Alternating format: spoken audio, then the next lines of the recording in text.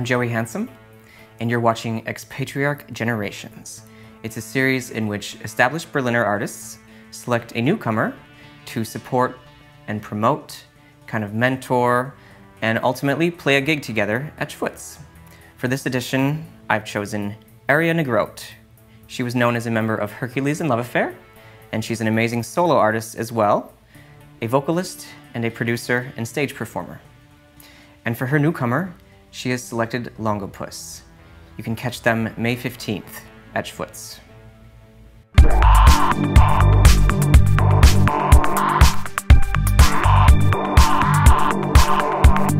So, welcome to the world of Longopus, my dear friend Mark, with whom I'm going to talk a little bit why actually we decided to go on this long journey of experimentation with music.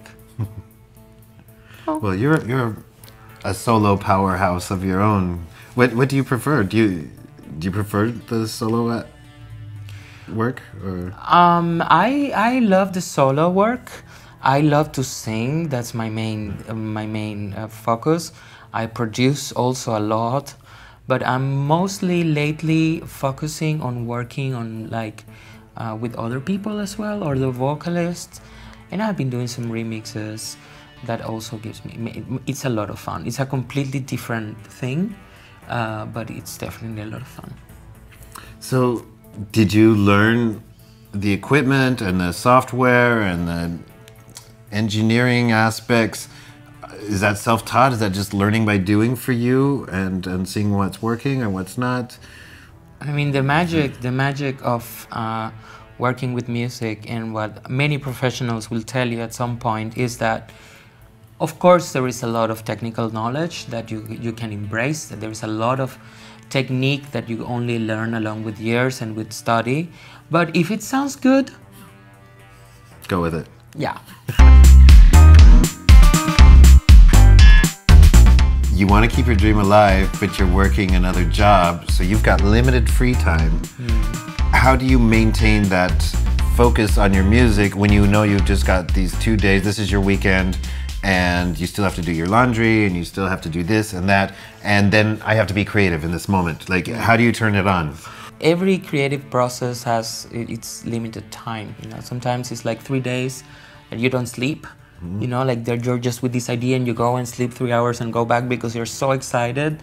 Um, and there is also um, the situation that of course when you have a normal life which we all do um, you just have to prioritize. And sometimes you're selling furniture and thinking of it's time for the percolator, it's time for the percolator, it's time for the percolator. So you have to kind of like, you know, sell furniture, and um, and kind of like condense all those thoughts to when the moment you come home, instead of having a shower or or having dinner, maybe you just like put those ideas together.